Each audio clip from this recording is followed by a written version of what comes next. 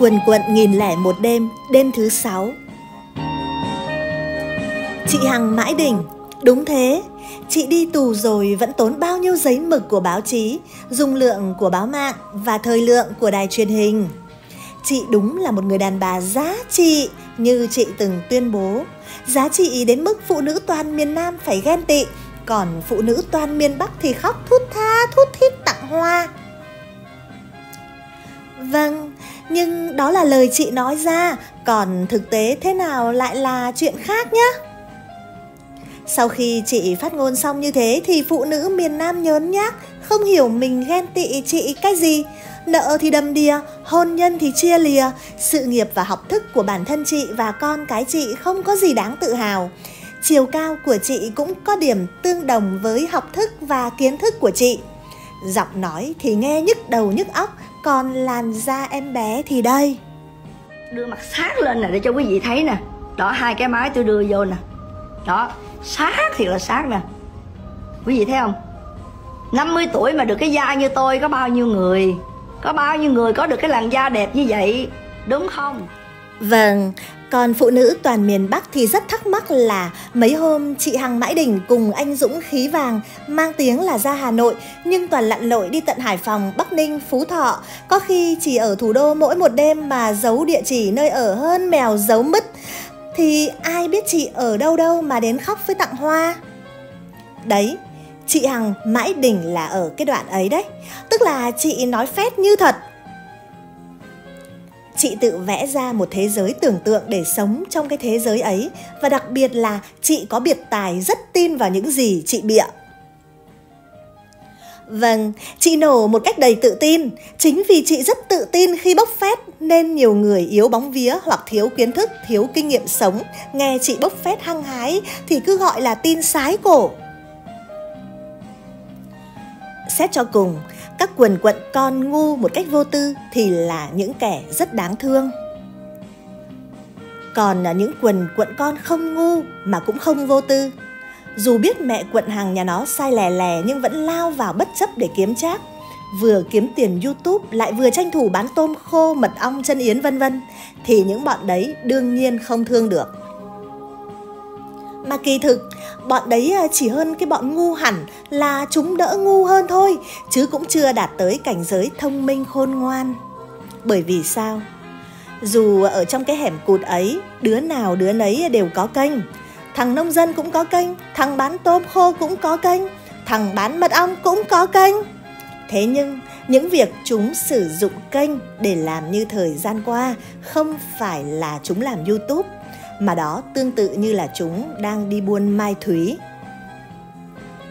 Vâng, đến đây sẽ có bạn hỏi sao lại là đi buôn mai thúy? Chúng làm YouTube và kiếm tiền YouTube đấy chứ? Thì không, đó không phải là cái lũ bưng bô mấy chục thằng con bố láo đang bị ông giáo chỉ mặt gọi tên kia đang làm YouTube đâu. Mà xin nhắc lại thời gian qua là chúng chính xác đi buôn mai thúy ạ. À. Thế này nhé, Buôn mai thúy là gì? Là chúng biết sai pháp luật nhưng vẫn lao vào, vẫn dùng mọi thủ đoạn để tiêm nhiễm thông tin xấu độc được cung cấp bởi con hàng tội phạm, để à, làm trung gian, trung truyền ra cộng đồng, để chúng hốt bạc và phất lên nhanh chóng. Lợi nhuận từ con quần quận khiến chúng mờ mắt và bưng bô bất chấp, biết sai pháp luật vẫn làm. Và thế là cuối cùng cả đoàn đại đều xa lưới, cũng tựa như bọn buôn mai thúy bị bắt vậy thôi tay thì tra vào còng, lợi nhuận thì sung công quỹ, phương tiện thì bị tịch thu xóa sổ, mai thúy thì bị tiêu hủy, bản thân thì lĩnh án. Còn à, không phải về mo mà là còn về âm hơn cả lúc chưa buôn mai thúy cơ. Thế thì lũ bưng bô cho con quận số phận có khác gì bọn buôn mai thúy không? Biết con mẹ sai vẫn bất chấp và phất lên nhanh chóng. Kênh nào kênh nấy mấy trăm nghìn người đăng ký tiền tỷ kiếm về. Để rồi cái kết chắc chắn là cũng đóng kênh. Toàn bộ lợi nhuận do phạm pháp mà có sẽ bị truy thu. Thà cứ làm tằng tằng như ngày trước thì có khi vẫn đường ta ta bước. Nhưng à, bây giờ thì xóa kênh như khá bảnh. À, thế thì là không phải về mo mà về âm con dê. Ai đó nói đùa Bây giờ à, thằng lang thang đường phố đúng là đang lang thang đường phố Thằng bánh mì đây đúng là thằng giao vặt phố phường Thằng nông dân thì lại trở về cái máng lợn cũ À, như thế là còn tốt đấy Chỉ mấy ngày nữa, nhanh thôi Đến lang thang đường phố cũng không được lang thang nữa cơ Muốn nhá cái bánh mì không cũng khó cơ Thế thì là khôn ngoan hay ngu ạ? À? Dạ, đi buôn mai thúy ở đời từ xưa đến nay là khôn hay ngu ạ? À? Hai lũ làm YouTube với một phong cách buôn mai thúy này có phương châm hành động của chúng là thà một phút huy hoàng rồi chợt tắt còn hơn buồn le lói suốt trăm năm. Quý vị nào đồng ý cho Phương Hằng tôi số 1 ạ? À?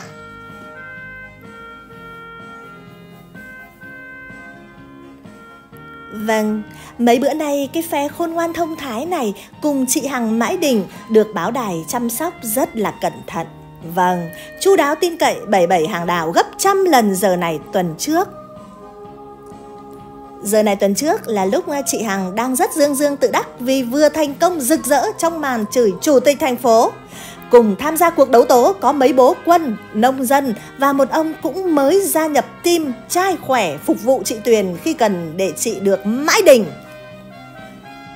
Thế rồi, chỉ sau đó 2 ngày, thế trận đã được lật ngược. Hóa ra công an mới là mãi đỉnh khi cho viral những hình ảnh không chụp bằng app vở tu Vâng, vờ tu là cái điện thoại ngu và cũng là một dạng bưng bô bất chấp. Mà vị vua nào nghe bọn định thần thì cái kết cũng là mất nước. Chị Hằng đang trên đỉnh đã xuống vực thẳm cũng chính vì cái bọn vây cánh nịnh bẩn bưng bô. Còn à, cái lỗi khiến cho chị U60 thỉnh thoảng lại up 200 cái ảnh selfie không khác nhau tí tị gì lên Facebook thì đấy là lỗi của thằng vờ tu. Sự nịnh bợ của thằng vợ tu này đã khiến chị tưởng rằng chị thực sự đẹp nhất Bình Dương, phụ nữ cả phương Nam ghen tức, còn phụ nữ miền Bắc thì ngưỡng mộ nhan sắc của chị đến mức khóc khi gặp như dân Bắc Hàn gặp chủ tịch Un. Vâng, một người phụ nữ giá trị và mãi đỉnh như trụy mà tại sao sáng 30 tháng 3 năm 2022 là 6 ngày sau khi chị Tuyền Nổ đã chuyển hộ khẩu về Củ Chi thì VTV lại đưa chị lên và dán thêm cái gạch chéo vào khuôn mặt đẹp nhất Bình Dương của chị. Tại sao vậy? Mà sao lại đặt tít bài là hiện tượng livestream phản cảm tự do ngôn luận phải trong khuôn khổ pháp luật là sao? À, cái nhà cái thằng VTV Mày đăng như thế về chị hôm nay thì là rất may cho mày. Chứ mày mà cũng đăng thế này trước đây một tuần thì mày biết tay bà rồi nhá. Thằng VTV nhá. Chắc chắn mày là phản động. Là đệ tử của Võ Hoàng Yên. Là fan nghệ sĩ đúng không VTV Và chắc chắn là mày câu kết ba con bạn khốn nạn Phá hoại nhà máy oxy của tao đúng không VTV Tại sao một người yêu nước thương dân làm tất cả vì cộng đồng cắm sừng chồng cũng vì cộng đồng. Chửi bới đánh nhau trên mạng cũng vì cộng đồng. Như phương hằng tôi mà lại phản cảm được. Vtv bạc nhược giọt nước tràn ly nên tôi sẽ bỏ nước ra đi. Lãnh sự quán của tôi sẽ làm việc với lãnh sự quán việt nam. Đáng lẽ là tôi bay rồi luôn đấy. Nhưng sực nhớ đã quên khuấy mất mấy cái điện thoại livestream đã cài thêm 500 cái app Mà Phương Hằng tôi thì không thể sống thiếu app được. À, Nên tôi bay 5 phút tôi ra lệnh cho cơ trưởng đáp xuống chỗ nào cũng được để về lấy máy quay. Ai ngờ đâu chiều 24 Phương Hằng tôi lại được mời đi phối hợp với công an thôi, làm gì căng. Tất cả đã bị sập hầm hết, vì đây là một trò chơi trí tuệ, không có tiền lệ à nha.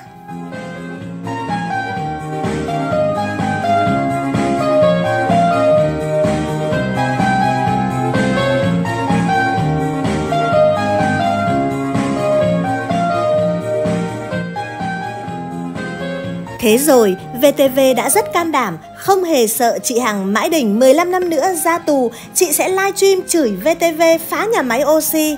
Nên à, VTV ngày 30 tháng 3 đã có hẳn một phóng sự phát trên kênh VTV1 kèm bài báo có đoạn nguyên văn. Giờ đây, Internet và mạng xã hội trở thành công cụ giúp các cá nhân chưa bao giờ có nhiều quyền năng đến thế trong việc thể hiện bản thân mình trước xã hội nhưng cũng chưa bao giờ nảy sinh nhiều vấn đề về xã hội và pháp lý đến thế trong việc quản lý thông tin trên không gian mạng. Điển hình là trường hợp hơn một năm qua, cộng đồng mạng dậy sóng bởi một nữ doanh nhân hoạt ngôn, giàu có, thường xuyên livestream bình luận về các vấn đề xã hội. Những nội dung livestream đó phần nào đã cung cấp thông tin hữu ích cho cộng đồng đối với một số vụ việc nhưng bên cạnh đó là vô vàn những phát ngôn phản cảm, xúc phạm danh dự nhân phẩm người khác. Người à, phụ nữ này bị bắt dựa trên đơn tố cáo của một số nghệ sĩ, nhưng thực tế số người bị miệt thị, xúc phạm trong các livestream lớn hơn rất nhiều. Bình luận về cá nhân này trong chương trình Vấn đề hôm nay, luật sư Nguyễn Tiến Lập, trọng tài viên Trung tâm Trọng tài Quốc tế Việt Nam cho biết, người ta sẽ rất ngạc nhiên vì đây là một con người khá thành đạt về vật chất, về danh vọng. Người đã có hết mọi thứ nhưng phải chăng đối với họ vẫn còn thiếu thứ gì đó. Có thể những con người như vậy tìm một giá trị khác như sự nổi tiếng chẳng hạn và họ đã thành công Nổi tiếng nhiều khi đi liền với tai tiếng, người ta cứ thích biến mình thành một nhân vật xã hội. Rõ ràng có yếu tố mất kiểm soát ở đây, ông Lập cho hay. Dư luận có nhiều quan điểm khác nhau, thậm chí trái ngược nhau về hiện tượng này. Thậm chí đã hình thành những cuộc khẩu chiến, đấu tố trên mạng, rồi các cuộc tấn công phá hoại cả vào cơ quan truyền thông nhà nước về ảnh hưởng xã hội của hiện tượng này, luật sư Nguyễn Tiến Lập phân tích, Thứ nhất, những nhóm người mà trực tiếp bà ấy đã tấn công là một sự tổn thương cá nhân đối với họ.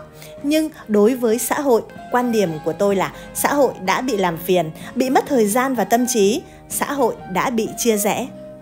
Điều này rất nguy hiểm về tác động xã hội chia rẽ thành hai phe, đấu khẩu lẫn nhau, chia rẽ trong từng nhóm, trong từng gia đình và phạm vi lớn hơn là trong tương tác, trong không gian công cộng, trên mạng nữa. Thậm chí nó còn chia rẽ về đánh giá cả về hệ thống, về đạo đức, xã hội vân vân. Rất nhiều người đã bị thay đổi bản thân mình mà không hay biết, trở nên vô cảm với nỗi đau của con người, không còn phân biệt được phải trái đúng sai lành mạnh hay là không lành mạnh nữa. Tóm lại, tác động của xã hội khá là tiêu cực.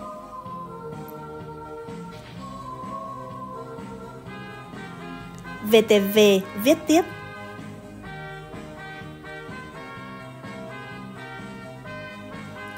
Quyền tự do ngôn luận được pháp luật bảo hộ, kể cả trên không gian mạng. Luật sư Nguyễn Tiến Lập cho biết, quyền tự do ngôn luận bắt nguồn từ quyền cơ bản là quyền tự do của con người, tự do suy nghĩ, tự do hành động.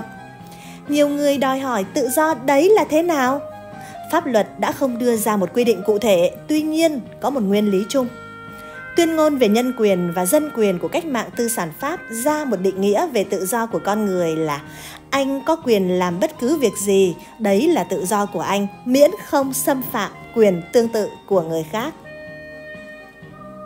Mỗi người văn minh đều phải hiểu khái niệm tự do đó để mình tự xác định không gian giới hạn cho các hành vi của mình đến đâu.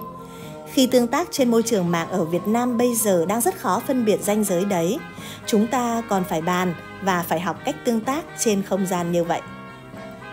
Lợi dụng quyền tự do dân chủ là một khái niệm rất chung nhưng có hai tầng cụ thể ở đây. Đầu tiên là vi phạm bí mật về đời tư của người khác.